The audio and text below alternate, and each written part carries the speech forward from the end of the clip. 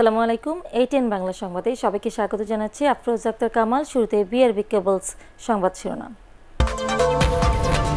দেশে করোনায় আক্রান্ত ছাড়ালো বিশ হাজার একদিনে সর্বোচ্চ শনাক্ত বারোশো দুই জন, মৃতের সংখ্যা পনেরো জন।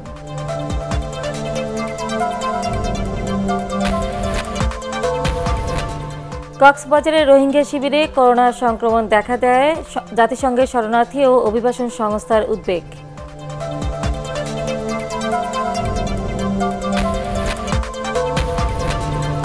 চেকপোস্টগুলোতে আইন শৃঙ্খলা বাহিনীর তৎপরতায় ঢিলে ঢালা ভাব, অবাধে রাজধানীতে ঢুকছে মানুষ, নিয়ম ভাঙার হিরিকে বেড়েই চলেছে করোনার সংক্রমণ।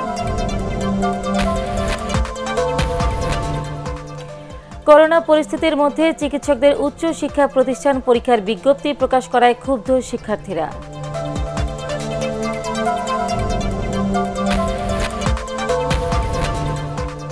এবং রাষ্ট্রীয় মর্যাদায় আজিমপুর কবরস্থানের জাতীয় অধ্যাপক ডক্টর আনিসুজ্জামানের দাফন সম্পন্ন।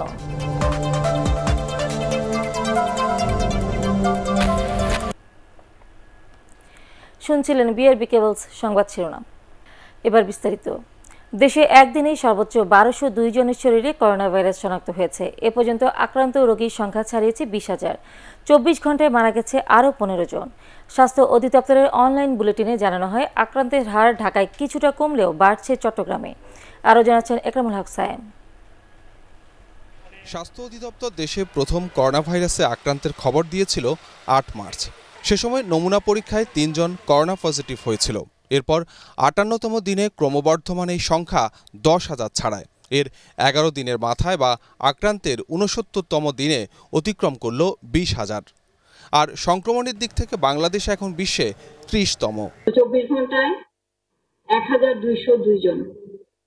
এটাও গত চব্বিশ ঘণ্টার মধ্যে সর্বাধিক, এক হাজার দুইশো দুই জন। এবং এ পর্যন্ত আমাদের শনাক্ত বিশ হাজার ছাড়িয়ে গেল। সবশেষ চব্বিশ ঘন্টায় একচল্লিশটি ল্যাবে একদিনে সর্বোচ্চ আট হাজার পাঁচশো বিরাশি জনের নমুনা পরীক্ষা করা হয়, যাতে করোনা পজিটিভও হয় রেকর্ড সংখ্যক। একই সাথে এই ভাইরাসে আক্রান্ত হয়ে আরও পনেরো জন সহ এ পর্যন্ত প্রাণ হারিয়েছেন দুশো আটানব্বই জন। পনেরো জন মৃত্যুবরণ করেছে মানে এ পর্যন্ত দুশো আটানব্বই জন মৃত্যুবরণ করলেন। পনেরো জনের মধ্যে পুরুষ সাতজন এবং মহিলা আটজন। স্বাস্থ্য অধিদপ্তরের অনলাইন বুলেটিনে জানানো হয়, আক্রান্তের সংখ্যায় ঢাকার ধারে কাছে নেই অন্য কোনো বিভাগ। তবে আশি শতাংশের নিচে নেমে এসেছে এখানে আক্রান্তের হার। অন্যদিকে চট্টগ্রামে আগের চেয়ে বেড়ে আক্রান্তের হার দাঁড়িয়েছে আট দশমিক চার সাত শতাংশে। চট্টগ্রাম ডিভিশনে বেড়ে যাচ্ছে। চট্টগ্রাম ডিভিশনে আমরা সর্বশেষ তথ্য অনুযায়ী আট দশমিক চার সাত শতাংশ। ঢাকা ডিভিশনে এখন সর্বশেষ তথ্য অনুযায়ী উনআশি দশমিক পাঁচ চার শতাংশ। এবং এই উনআশি দশমিক পাঁচ চার শতাংশের মধ্যে ঢাকা সিটিতে আটান্ন দশমিক এক এক শতাংশ এবং ঢাকা বিভিন্ন জেলার মধ্যে একুশ দশমিক চার তিন শতাংশ। সবশেষ চব্বিশ ঘন্টায় দুশো উনআশি জন সহ এ পর্যন্ত করোনা রোগী সুস্থ হয়েছেন তিন হাজার আটশো বিরাশি জন। নতুন দুশো উনষাট সহ বর্তমানে আইসোলেশনে রয়েছে দু হাজার সাতশো আটত্রিশ জন। অনলাইন বুলেটিনের শুরুতে জাতীয় অধ্যাপক আনিসুজ্জামানের মৃত্যুতে শোক জানান স্বাস্থ্য অধিদপ্তরের অতিরিক্ত মহাপরিচালক নাসিমা সুলতানা। উনি বহুবিধ বহুবিধ দিকে উনি আমাদেরকে দিক নির্দেশনা দিতেন বাংলাদেশ একজন বাতিঘরকে হারালো। ইকরামুল হক সায়েম এটিএন বাংলা ঢাকা। নারায়ণগঞ্জে করোনা ভাইরাসে আরও একজনের মৃত্যু হয়েছে আর বরিশালে করোনার উপসর্গ নিয়ে মারা গেছে দুজন। এদিকে রংপুর ও ময়মনসিংহ বিভাগে আশঙ্কাজনক হারে বাড়ছে আক্রান্তের সংখ্যা। রোগী শনাক্ত হচ্ছে অন্য জেলাগুলোতেও। প্রতিনিধিদের তথ্যচিত্রের ভিত্তিতে রিপোর্ট করছেন রোকসানা ইবা। নারায়ণগঞ্জে বাড়ছে করোনা আক্রান্ত ও মৃতের সংখ্যা। গত চব্বিশ ঘন্টায় জেলায় একজন মারা গেছে। এ নিয়ে নারায়ণগঞ্জে করোনায় মৃতের সংখ্যা বেড়ে দাঁড়াল ষাট জনে। আর নতুন ষাট জন সহ মোট আক্রান্ত এখন এক হাজার পাঁচশো পঁয়ত্রিশ জন। করোনার উপসর্গ নিয়ে বরিশালে দুজনের মৃত্যু হয়েছে। শুক্রবার ভোরে বরিশাল শেরি বাংলা মেডিকেল কলেজ হাসপাতালে মারা যান বরগুনার বাহাত্তর বছর বয়সী এক মুক্তিযোদ্ধা। বৃহস্পতিবার রাতে একই উপসর্গ নিয়ে হাসপাতালে মারা যান ভোলার চরফ্যাশনের পঞ্চাশ বছরের এক নারী। বিভাগে নতুন আক্রান্ত দশ পুলিশ সদস্য সহ চোদ্দ জন।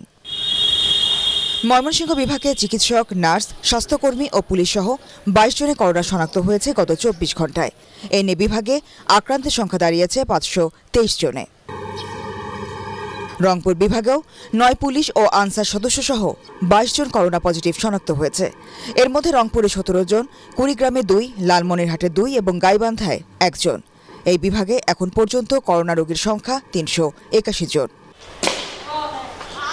এছাড়া এক পুলিশ কর্মকর্তা সহ নওগাঁয় দশ জন, সিরাজগঞ্জের কাজীপুর থানার ওসি তদন্ত ও আরও দুই পুলিশ সদস্য সহ নয় জন।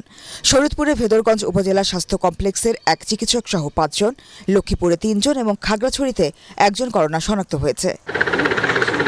এদিকে সিলেটের শামসুদ্দিন হাসপাতালে করোনায় আক্রান্ত হয়ে এক কয়েদের মৃত্যুর পর তার লাশ নিতে রাজি হয়নি পরিবার। পরে সিলেট সিটি কর্পোরেশনের তত্ত্বাবধানে নগরীর মানিকপীড়া টিলায় তাকে দাফন করা হয়েছে। বিভাগে নতুন আক্রান্ত একজন।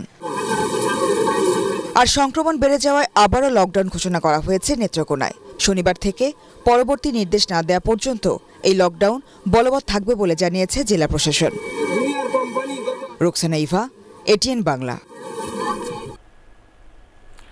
কক্সবাজারের রোহিঙ্গা শিবিরে করোনা ভাইরাসের সংক্রমণ দেখা দেয় গভীর চরম উদ্বেগ প্রকাশ করেছে জাতিসংঘের শরণার্থী বিষয়ক সংস্থা ইউএনএইচসিআর। এবং আন্তর্জাতিক অভিবাসন সংস্থা আইওএম ক্যাম্পের মধ্যে গাদাগাদি করে থাকায় এই সংক্রমণ সেখানে ভয়ানক পরিস্থিতি তৈরি করতে পারে আশঙ্কা করেছে সংস্থা দুটি। বলা হচ্ছে, এই মহামারীতে সবচেয়ে ঝুঁকিতে রয়েছে শরণার্থীরা। জাতিসংঘ সদর দপ্তর থেকে ভিডিও কনফারেন্সিংয়ে আইওএম এর মুখপাত্র পল ডিলন জানান, রোহিঙ্গাদের জন্য আড়াইশো আইসোলেশন বেড পাঠানোর প্রস্তুতি চলছে। এছাড়া পঁয়ত্রিশটি প্রাথমিক স্বাস্থ্যসেবা কেন্দ্র, তিনটি আইসোলেশন এবং তিরানব্বইটি কোয়ারেন্টাইন স- সেন্টারের ব্যবস্থা করা হচ্ছে রোহিঙ্গা ক্যাম্পে গত দুদিন দুদিনে তিনজন করোনা ভাইরাসে আক্রান্ত হয়েছে সুইজারল্যান্ড থেকে ভিডিও কনফারেন্সের এ ব্যাপারে উদ্বেগ প্রকাশ করেছেন ইউএনএইচসিআর এর মুখপাত্র Andrej Mahecic there are serious concerns about potentially severe impact of the virus in a densely populated refugee settlement sheltering some 860,000 refugees. Another 400,000 Bangladeshis live in the surrounding host communities. IOM is preparing 250 uh, severe acute respiratory infection isolation and treatment center beds, which will come online very shortly. We have integrated, uh, we have rather updated triage areas in the 35 primary care facilities we support, along with three isolation and treatment centers and a 93 unit contact tracing quarantine center large enough to accommodate 465 people is nearing completion. Corona ভাইরাসের সংক্রমণ ঠেকাতে রাজধানীতে ঘরে থাকার সরকারি নির্দেশনা এখন অনেকটাই অকার্যকর। চেকপোস্টগুলোতে ঢিলেঢালাভাবে চলছে আইন শৃঙ্খলা বাহিনীর তৎপরতা। এতে নিয়ম ভাঙার হিরিকে বেড়েই চলেছে করোনা সংক্রমণ। বিস্তারিত আপেল মাহমুদের রিপোর্টে। কোনো ধরনের বাধা ছাড়াই নারায়ণগঞ্জ, গাজীপুর থেকে এভাবেই রাজধানীতে প্রবেশ করছে। সব ধরনের পরিবহন সহ সাধারণ মানুষ। ঢাকার প্রবেশ পথগুলোতে চেকপোস্ট বসানো হলেও এখন সেখানে দেখা মেলে না নিরাপত্তা বাহিনীর সদস্যদের। শুরুতে করোনা ভাইরাস সংক্রমণ রোধে তারা দায়িত্ব পালন করলেও এখন জনসাধারণ বা পরিবহন প্রবেশে নেই তাদের সেই নজরদারি। দু একজন পুলিশের দেখা মিললেও টহলেও অনেকটা ঢিলেঢালা ভাব। করোনার সংক্রমণ রোধে রাজধানীর প্রবেশ পথগুলোতে চেকপোস্ট বসানো হলেও সেখানে এখন নেই কোনো আইন শৃঙ্খলা বাহিনী। ফলে কোনো ধরনের চেকিং ছাড়ে প্রবেশ করছে জনসাধারণ সহ সব ধরনের যানবাহন। এতে রাজধানী সহ আশপাশের এলাকায় করোনা ঝুঁকি বেড়ে চলছে। শুধু প্রবেশ পথ নয় রাজধানীর ভিতরের চেকপোস্টগুলোতেও প্রায় একই চিত্র। শুরুতে স্বাস্থ্যবিধি মানলেও এখন তা অমান্য করেই ঘর থেকে বের হচ্ছেন নগরবাসী। অসচেতনতার পাশাপাশি মাস্ক ব্যবহারে অনীহা দেখা দিচ্ছে সব বয়সীদের মধ্যে। হ্যাঁ হ্যাঁ আমার আছে তো মাস্ক। এই যে। না না গরমে ভাই কি করব? কত থাকা যায় গরমে? দুমদুম আটকায় এই তার পকেটে মাস্ক আইলো ঘুরি পকেটে সামাজিক দূরত্ব অমান্য করে চটলা পাকিয়ে কাঁচা বাজার নিত্য প্রয়োজনীয় পণ্যের দোকানেও পারছে মানুষের অবাধ বিচরণ। রাস্তাঘাটে যে যারা চলাফেরা করতেছে ওরা তো ঠেলা বাইরে যেটা চাইতেছে। ছোট ছোটো বাচ্চা পোলা বানলে মার্কেট আইতে এরা এই ব্যাপারে অনেক কিছুই জানে না। আর যে কজনই জানে এরা আর কি তেমন একটা মানতাছে না। স্বাস্থ্যবিধি অমান্য করার প্রবণতা বাড়ায় সামনে আরও কঠিন সময় অপেক্ষা করছে বলে জানান চিকিৎসকরা। মানুষ আগে যেরকম একটি ঘরে থাকার প্রতি তার যে প্রবণতা ছিল সেটি কিন্তু এখন আর নেই। যতক্ষণ শারীরিক দূরত্ব বজায় না রাখবে যতক্ষণ পর্যন্ত মাস্ক ব্যবহার না করবে যতক্ষণ পর্যন্ত হাইজিন ব্যবহার না করবে তাহলে এই আক্রান্তের সংখ্যা বলেন মৃত্যুর সংখ্যা বলেন সকলগুলোই কিন্তু বাড়তেই থাকবে। তবে জনগণকে সচেতন করতে নগরীর সড়কগুলোতে তৎপর ছিল সেনা সদস্যরা। আপিল মাহমুদ এটিএন বাংলা ঢাকা। করোনা সংক্রমণের মধ্যে স্বাস্থ্যবিধি না মেনে রাজধানীতে ঈদের কেনাকাটা চলছে। বেশিরভাগ বিপণী বিতান বন্ধ থাকলেও যেসব মার্কেট খোলা সেখানে ক্রেতাদের উপস্থিতি কম। তবে নামি দামি মার্কেটের চেয়ে ফুটপাতে কেনাকাটা জমে উঠেছে। বিস্তারিত শারফুল আলমের রিপোর্টে। সাদিয়া আক্তার সন্তানের ঈদের বায়না মেটাতে রাজধানীর মধুবাগ থেকে মৌচাক মার্কেটে এসেছেন।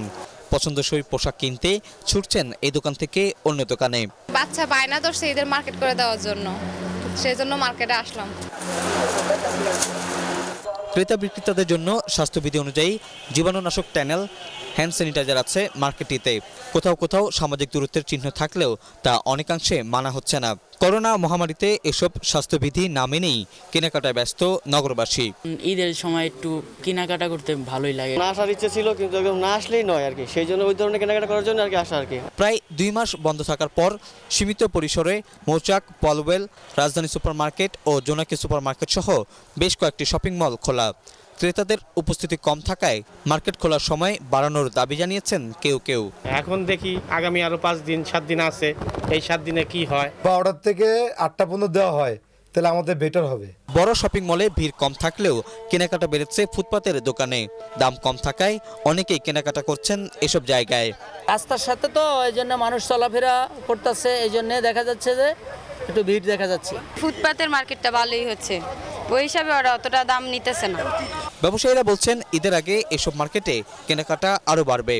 করোনা ভাইরাসের সংক্রমণের সময় স্বাস্থ্যবিধি মেনে কেনাকাটা করার পরামর্শ দিয়েছেন জনস্বাস্থ্য বিশেষজ্ঞরা। তারা বলছেন মার্কেটগুলোতে যদি স্বাস্থ্যবিধি না মানা হয় তবে এই ভাইরাসের সংক্রমণ আরও বেশি বেড়ে যাওয়ার আশঙ্কা রয়েছে। এই অবস্থায় সবাইকে আরও বেশি সচেতন হওয়ার তাগিদ দিয়েছেন তারা। শরফুল আলম এটিএন বাংলা ঢাকা। করোনা পরিস্থিতির মধ্যে চিকিৎসকদের উচ্চশিক্ষা প্রতিষ্ঠান একটি পরীক্ষার বিজ্ঞপ্তি প্রকাশ করায় ক্ষোভ তৈরি হয়েছে শিক্ষার্থীদের মধ্যে। পরীক্ষার্থীরা চিকিৎসক হওয়ায় অনেকেই দেশের বিভিন্ন হাসপাতালে করোনা চিকিৎসায় দায়িত্ব পালন করছেন। তবে কর্তৃপক্ষ বলছে রেজিস্ট্রেশনের টাকা জমা নেওয়া হলেও পরীক্ষার তারিখ এখনও ঠিক করা হয়নি। বিস্তারিত জানাচ্ছেন রাসনা দাস। দেশের সব শিক্ষা প্রতিষ্ঠানে ক্লাস বন্ধ থাকলেও করোনা মহামারীর মধ্যে Bangladesh college of physician and সার্জনসে BCPS চিকিৎসকদের এফসিপিএস পরীক্ষা নেওয়ার বিজ্ঞপ্তি দেওয়া হয়েছে। বিজ্ঞপ্তিতে এই মাসের মধ্যে টাকা জমা দিতে বলা হয়েছে এবং টাকা জমা দেওয়ার রসিদ স্ক্যান করে অনলাইনে পাঠাতে বলা হয়েছে। তবে এই মুহূর্তে অনেক চিকিৎসক বিভিন্ন হাসপাতালে কর্মরত থাকায় তাদের পক্ষে এখন পরীক্ষার প্রস্তুতি নেওয়া সম্ভব না। এ কারণে এক ধরনের হতাশা তৈরি হয়েছে পরীক্ষার্থীদের মধ্যে। সম্মুখ সারির যোদ্ধা হচ্ছে এই তরুণ চিকিৎসক, যারা একই সাথে বিসিপিএস এর পরীক্ষার্থী। এই অবস্থায় অনেক তরুণ চিকিৎসক করোনায় আক্রান্ত। অনেকেই সাত দিন টানা ডিউটি শেষে চোদ্দ দিনের কোয়ারেন্টাইন ভেঙে আবার ডিউটিতে পুনরায় যোগদান করছেন এবং অনেক বেসরকারি চিকিৎসকের বেতন এবং বোনাস আটকে আছে।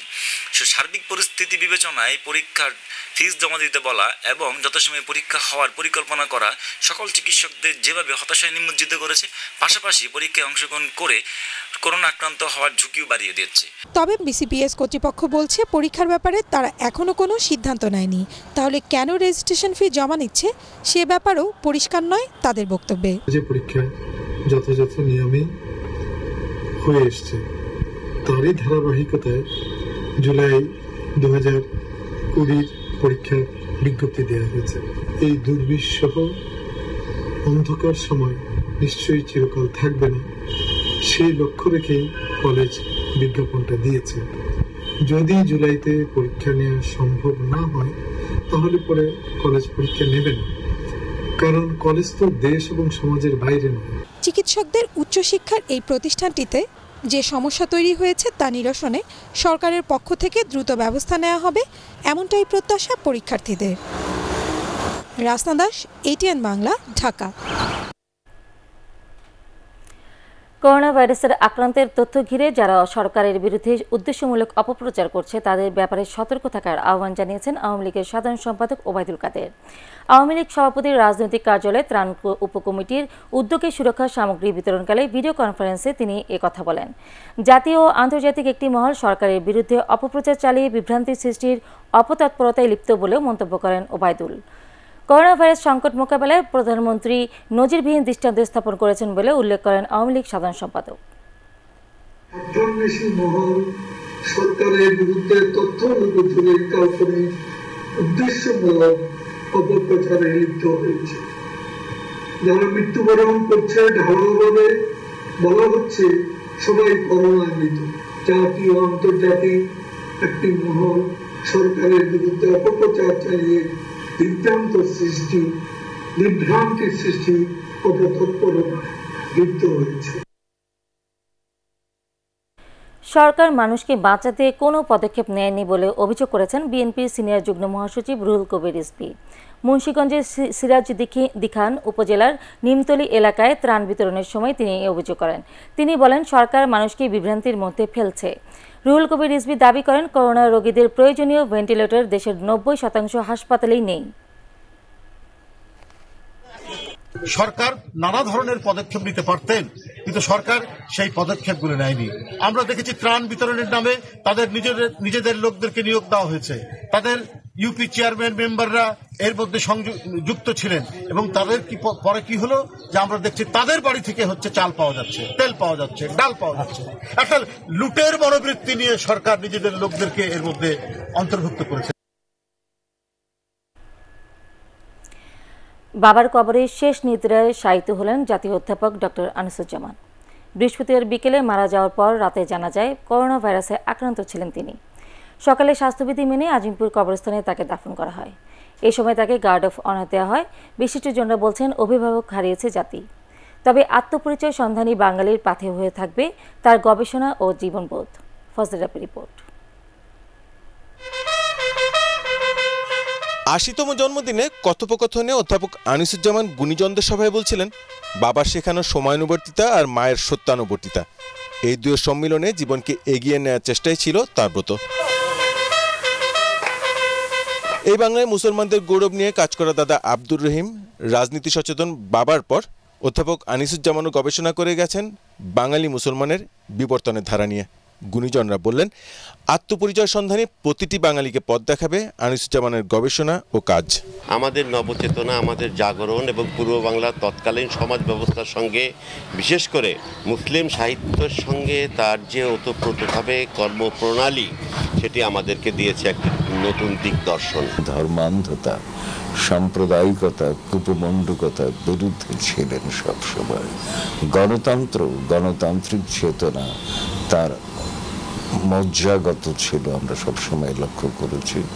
মুক্তিযুদ্ধের মূল্যবোধের অবক্ষয় ব্যথিত করত জাতীয় এই অধ্যাপককে। সামাজিক অবক্ষয়ের জন্য তিনি দুষতেন সত্য ও সুন্দরকে দূরে সরিয়ে রাখা জীবনবোধকে। জীবনভর তিনি সংগ্রাম করে গেছেন সত্য অন্বেষণে। সামনে থেকে নেতৃত্ব দিয়ে উদাহরণ তৈরি করে গেছেন জাতির সব সংকটে। মুক্তিযুদ্ধের পরি- পরিপ্রেক্ষিতে যে অসাম্প্রদায়িক বাংলাদেশ তৈরি করার চেষ্টা আমরা করেছিলাম যে চার মৌলনীতির ভিত্তিতে বাংলাদেশের প্রতিষ্ঠা হয়েছিল এবং তার সমাজ ব্যবস্থাকে পরিচালনার জন্য গণতন্ত্র সমাজতন্ত্র ধর্মনিরপেক্ষতা এবং জাতীয়তাবাদকে গ্রহণ করা হয়েছিল তিনি ছিলেন তার অন্যতম উদ্যোক্তা। বাতিঘর অনুসরণ করেই সমুদ্রে পথ হারানো নাবিক পথ খুঁজে পায়। আমরা আনিসুজ্জামান নামের বাতিঘরকে অনুকরণ করে, অনুসরণ করে সামনে গুণের পথ পাব বলে আমার দৃঢ় বিশ্বাস। তাকে চর্চা করে নিজেদের সমৃদ্ধ করতে পারলে ডক্টর আনিসুজ্জামানের যোগ্য উত্তরসূরি হওয়া যাবে বলে মনে করেন বিশিষ্ট জনরা। ফজলে রাব্বি, এটিএন বাংলা, ঢাকা। ঈদের পর আরও পনেরো দিন সব শিল্প কলকারখানা ও দোকানপাট বন্ধ রেখে শক্ত লকডাউনের বিকল্প নেই বলে মন্তব্য করেছেন Gazipur city mayor advocate Jahangir Alam.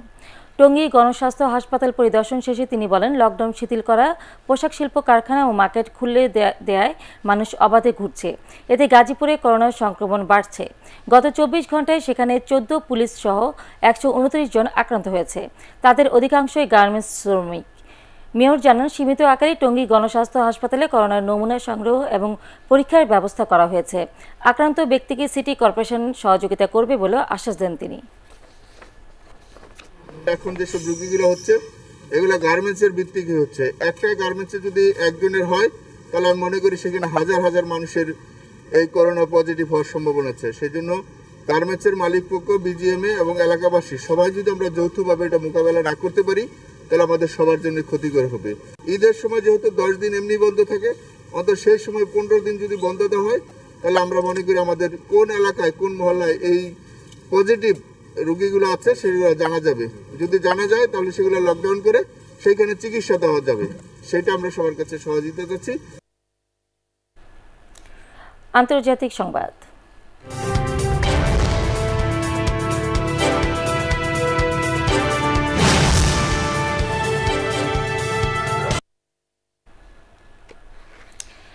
Corona ভাইরাসে সারা বিশ্বে মৃতের সংখ্যা তিন লাখ আড়াই হাজার ছাড়িয়েছে। আক্রান্ত হয়েছে প্রায় চুয়াল্লিশ লাখ পঁয়তাল্লিশ হাজার মানুষ। এর মধ্যে রাশিয়ায় আক্রান্তের সংখ্যা দুই লাখ বাষট্টি হাজার ছাড়িয়েছে। সে দেশে চব্বিশ ঘন্টায় সংক্রমিত হয়েছে সাড়ে সাড়ে দশ হাজারেরও বেশি মানুষ। ফিলিপাইনেও বাড়ছে সংক্রমণ সেখানে মৃতের সংখ্যা আটশো এবং সংক্রমণ বারো হাজার ছাড়িয়েছে। করোনা ভাইরাসের উৎপত্তিস্থল উহানের সব বাসিন্দাদের নমুনা পরীক্ষার উদ্যোগ নিয়েছে চীন। এদিকে করোনা পরিস্থিতির কারণে চরম অর্থনৈতিক মন্দায় পড়তে যাচ্ছে জার্মানি। বছরের প্রথম তিন মাসে দেশটির জিডিপি প্রবৃদ্ধি অর্জিত হয়েছে মাত্র দুই দশমিক দুই শতাংশ। জয়পুরহাটের আক্কেলপুরে সংস্থার কাজের জন্য বরাদ্দকৃত আশ্রয়ণ প্রকল্পের পঞ্চাশ মেট্রিক টন গম পাচারকালে তা তিনটি ট্রাকসহ জব্দ করেছে আইনশৃঙ্খলা বাহিনী। র্যাব ও পুলিশ জানায় পৌর এলাকার বিল সংস্কার কাজের জন্য একানব্বই মেট্রিক টন গম বরাদ্দ করা হয়েছিল। দুপুরে অবৈধভাবে বিক্রির জন্য ওই গম পাচার করা হচ্ছে এবং এমন খবর পেয়ে আইনশৃঙ্খলা বাহিনীর সদস্যরা খাদ্য গুদামে অভিযান চালায়। এই সময় গম ও ট্রাক ফেলে পালিয়ে যায় গমের মালিক ও খাদ্য গুদামের লোকজন। এ ব্যাপারে আইনগত ব্যবস্থা নেওয়ার কথা জানিয়েছে পুলিশ।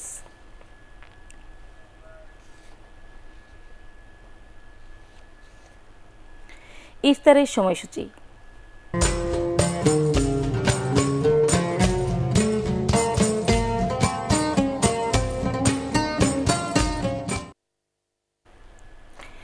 জানিয়ে দিচ্ছি আজকের ইফতারের সময়সূচি। শনিবার ঢাকায় ইফতার, সন্ধ্যা ছয়টা আটত্রিশ মিনিট, রাজশাহীতে সন্ধ্যা ছয়টা পঁয়তাল্লিশ মিনিট, চট্টগ্রামে ছয়টা উনত্রিশ মিনিট, সিলেটে ছয়টা তেত্রিশ মিনিট, খুলনায় ছয়টা সাঁত্রিশ মিনিট, বরিশালে ছয়টা ছত্রিশ মিনিট, রংপুরে ছয়টা পঁয়তাল্লিশ মিনিট এবং ময়মনসিংহে ইফতার, সন্ধ্যা ছয়টা উনচল্লিশ মিনিট। পার্টেক্স খেলার খবর।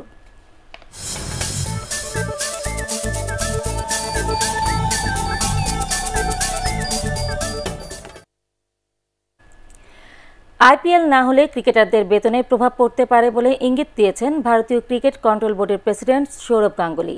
করোনা ভাইরাসের কারণে আইপিএল আদৌ হবে কিনা বা সেটা নিশ্চিত করতে পারেনি বিসিসিআই। আইপিএল না হলে ভারতীয় ক্রিকেট বোর্ডের ক্ষতি হবে চার হাজার কোটি টাকা। তাতে আর্থিক আর্থিক সংকটে পড়ার সম্ভাবনা বিসিসিআই এর। বোর্ড প্রেসিডেন্ট সৌরভ গাঙ্গুলি বলেন, আইপিএল না হলে বোর্ডের চার হাজার কোটি টাকা ক্ষতি হবে, যা একটি বিরাট অঙ্ক। তবে টুর্নামেন্ট হলে আমরা ক্রিকেটারদের প্রাপ্য কেটে নেব না।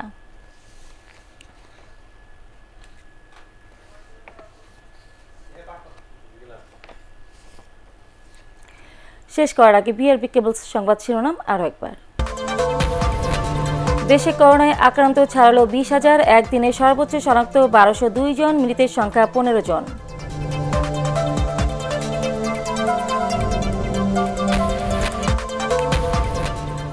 কক্সবাজারের রোহিঙ্গা শিবিরে করোনার সংক্রমণ দেখা দেয় জাতিসংঘের শরণার্থী ও অভিবাসন সংস্থার উদ্বেগ।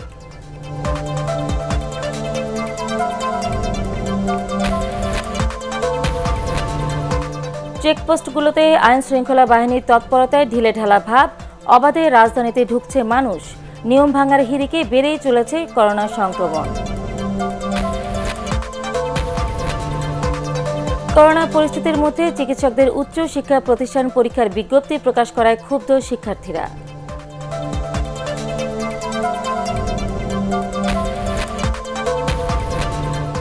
এবং রাষ্ট্রীয় মর্যাদায় আজিমপুর কবরস্থানে জাতীয় অধ্যাপক ডক্টর আনিসুজ্জামানের দাফন সম্পন্ন।